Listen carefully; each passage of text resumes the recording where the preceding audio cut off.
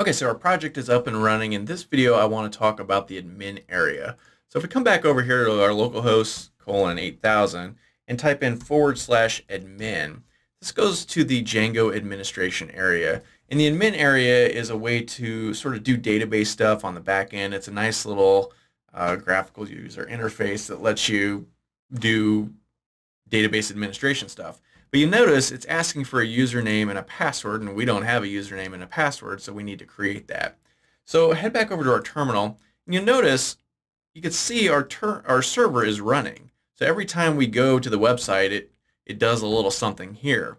So in order for our Django project to work in the web browser, this server has to always be running, right? But now we can't type in any other commands. So there's a couple of things you could do. You can hit Control and C to break out of the server. But if you do that, the server is no longer running. So if you come back here and hit reload, you'll get an error in a second here. Boom, right there, because the server's not running anymore. So you always want this server to be running.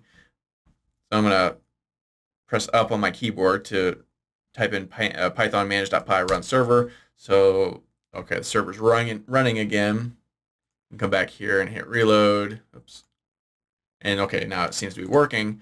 But like I said, we can't we can't type in commands. So of course you can hit Control C every time to break out of the server, type your command, and then run the server again. But that's kind of a hassle. I always just like to open another version of Git Bash, right? So I just went to my Windows Start menu, typed in Git Bash, and clicked it, and started up a new version. So now we've got this one, and we've got this one. They're both running. This one has the server in it.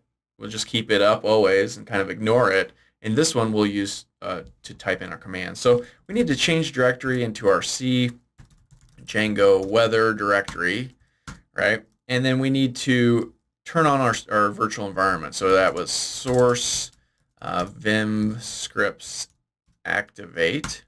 Okay, so boom, that's now activated. So now we need to change into our weather directory. And we're in our weather directory, and we can see this is the correct place because we see there's our manage.py file when we type in ls. So, okay, we're back where we need to go.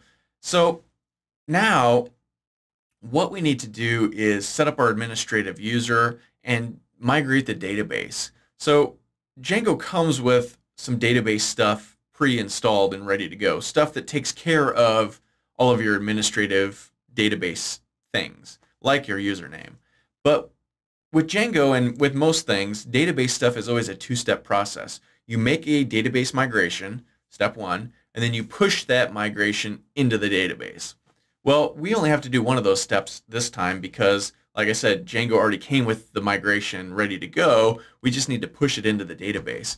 And to do that, it's pretty simple. We just type in Python manage.py. It's always Python manage.py when we want to issue Django commands. And then the command we want is just migrate. We're pushing the migration into the database. And you can see it did a bunch of stuff and we're good to go. So now we need to create a, a super user, an administrative user, so that we can log into that form that we just looked at. And to do that, usually it's python manage.py and then createsuperuser, all one word. And if you're on a Mac or Linux, that's the command you'll use. But us in Git Bash, if we do that, we get this little error. So this is one of the only times you actually have to modify the command a little bit. So it's actually winpty and then python manage.py create super user. Okay, so now it's asking what username you want. I'm just going to call myself admin. And I don't think you really need to put your email address, but we'll go ahead and do that. Now pick a password, and as I type it, you notice it's not being typed on the screen. That's normal. That's a security feature. So it's asking for the password again. I'll type it again, and boom, our super user has been created successfully. So now we can come back over here, type in our username and the password we just picked, and boom, we can log into the Django administrative area. And so very cool. So if we click on here, users, we see our user that we just created. Here's our uh, email address that we just typed in. We can do all kinds of stuff. We can add users from here if you have other administrators that are going to manage your website for you and you want to add them. You can click on each thing and update your first name, last name, uh, change the username. You could change the password somewhere around here. You can delete it Uh, let's see, where is the password thing? Here's the password. Uh, you can change it using this form, right? So all kinds of cool stuff.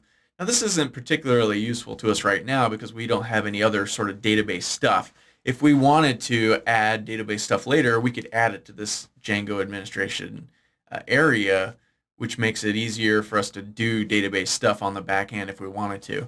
Uh, so it's just kind of a cool thing. We're not really going to use this that much, if at all, in this course, but this is sort of a key Django thing that you will use a lot for things. So I just thought I would, you know, spend a video showing you at least how to set it up and that it exists and stuff. So it's kind of cool. So, all right, we're pretty much ready to go. In the next video, we're going to jump in and actually start building out our real project, to get rid of this uh, funky little rocket ship screen and start to build out what we want our app to be. And that'll start in the next video.